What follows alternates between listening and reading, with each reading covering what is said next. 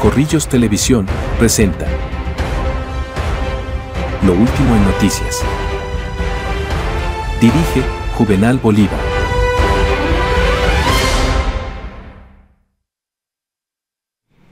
Bienvenidos, estas son las noticias de Corrillos. El alcalde de Bucaramanga insiste en expulsión de delincuentes venezolanos de la ciudad. Luego de la polémica por el tema de la expulsión y el rifirrafe con el gobernador de La Guajira, Jairo Aguilar, el alcalde Jaime Andrés Beltrán insistió que los migrantes que están delinquiendo en la ciudad deben ser expulsados del territorio. El alcalde hace un llamado a la unión de alcaldes y gobernadores por la situación crítica de seguridad que se vive y que parte de ello corresponde a los venezolanos que llegaron a delinquir y no a trabajar a Colombia. Y nuestra labor como alcaldes es defender a la ciudadanía.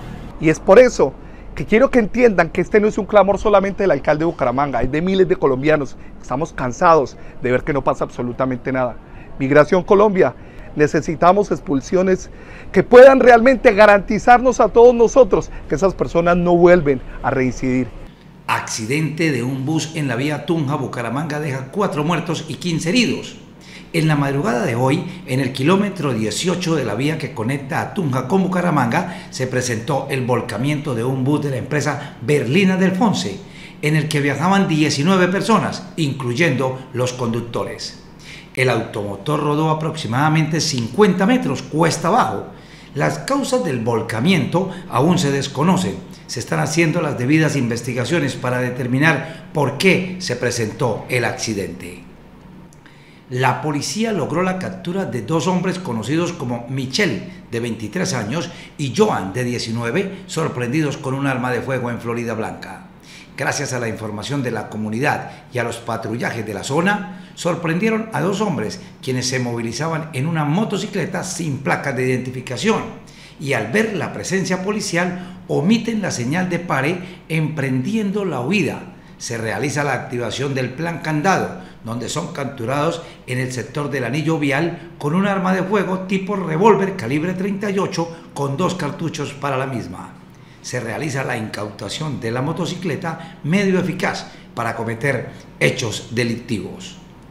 Esto es gracias a la información de la ciudadanía, ya que estos dos sujetos habían momentos antes realizado unos disparos al aire y a esa reacción de nuestro cuadrante y ese plan candado que se logra hacer en el municipio, llegamos a la captura de estas personas en el anillo vial, a quienes esas personas habían intimidado a ciudadanos momentos atrás en la realización de estos hechos. Hoy jueves se celebra la fiesta de Corpus Christi y Festival de la Música Campesina en el Parque de Florida Blanca. El evento organizado por la Casa de Cultura Piedra del Sol se cumple 27 años de historia y se ha programado una jornada llena de melodías, danzas y tradiciones para marcar su vuelta al municipio. La oportunidad es propicia para que los campesinos del municipio Dulce comercialicen sus alimentos, incluidas bebidas típicas de nuestras veredas. Estamos haciendo el lanzamiento del Festival de Música Campesina es una identidad de nosotros los florideños. Nos tomamos el sector rural, vamos a llegar a cada una de las veredas que están establecidas en la ciudad, en el municipio de Florida Blanca. Y por otra parte estamos celebrando el Corpus Christi, que es una fiesta religiosa. Hoy las veredas de Florida Blanca hacen presencia en el parque principal con cada una de sus cosechas, cada uno de sus productos. Y la invitación a los florideños es a que hagamos presencia y ayudemos a nuestros productores rurales. Vamos a estar aproximadamente hasta las 4 de la tarde en el parque principal. Estas son las noticias de Corrillos. Corrillos Televisión presentó Lo último en noticias. Dirige Juvenal Bolívar.